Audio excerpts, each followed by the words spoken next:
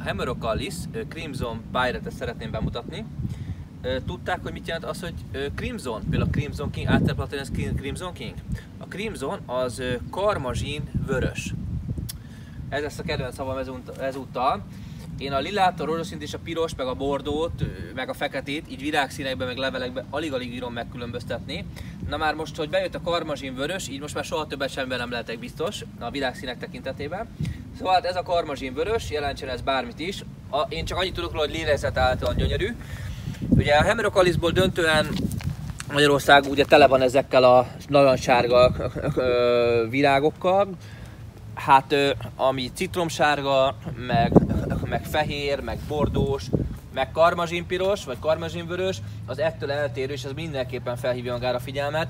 Itt egy fantasztikus 5-6 négyzetméteres ágyás van beültetve. Ha egy picit fölülről ránézünk, akkor azt lehet látni, hogyha mondjuk ez itt így egy négyzetméter, akkor 6 darab van, egyébként elég szabályos kiültetésben. Itt egy faiskolai táblában vagyunk, tehát egy 6 darab van kiültetve per négyzetméterben Úgyhogy ha egy ilyen 4-6 darabot ültetünk négyzetméterenként, akkor valami ilyen világot kapunk. Most olyan pont tűz a nap szerencsétlenségünkre, úgyhogy kevésből jön át, de inkább így a délutáni esti órákban egészen-egészen fantasztikus és ez azt jelenti, hogy, hogy nagyon szép felületeket be lehet ültetni vele. Alapvetően napra ültessük, az ágyásoknak az első részébe, tehát ennél sokkal apróbb növények már mondjuk csak így a kis talajtakaró, tényleg a kis sziklakerti évelők lehetnek, tehát talán még egy, egyféle növénysor elférhet elé, de nyugodtan bele lehet ültetni egy fát, aminek mondjuk így lazább a lombja, pláne hogyha mondjuk így déli oldalról kapja a napsütést, úgyhogy ez a ö, karmazsin vörös, megpróbálom megjegyezni, karmazsin vörös színű Hemerocalis, azt gondolom, hogy egészen-egészen csodálatos. Hát most meg, megpróbálok egy, egy nagyon szép kinyílt virágot így itt a tenyerembe tenni. Hát kérem szépen így néz ki. Hát azt gondolom, hogy egészen-egészen elképesztően gyönyörű, mind közelről, mind pedig távolból.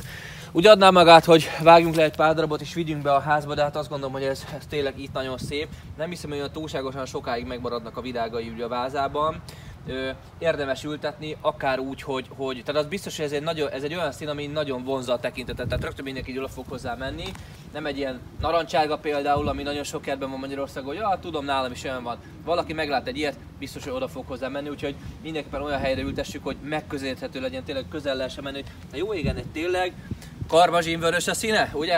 Az emberbe így belülről fölfakad ez a, ez, a, ez, a, ez a kérdés. Hát igen, tényleg ilyen a színe, gyönyörű szép, érdemes ültetni, hemerokaliszokra jellemző, teljesen igénytelen növény, beültetés követő évbe kell odafigyelni a tápanyag utánpótlásra, illetve a vízre, utána már viszonylag önállátók szoktak lenni. Természetesen az ápolási munkája ennek is megegyezik az összes hemerokaliszéval, év folyamán a száraz leveleket ezeket szedegetni kell, a nagyon száraz levegőre, meg a nagyon szárazságra azért persze reagál a hemerokalisz is, még több és több száraz levelet hoz, úgyhogy ha nedvesen tartjuk a, a, a talaját, többször öntözzük, akkor most augusztus elején van, és ez egy viszonylag zöld állomány, nyilván azért, mert itt ezt öntözik, úgyhogy azért az öntözést azt a Hemerocallis is meghálálja, és hát nekünk is besegít, mert kevesebb száraz levelet kell szedegetni.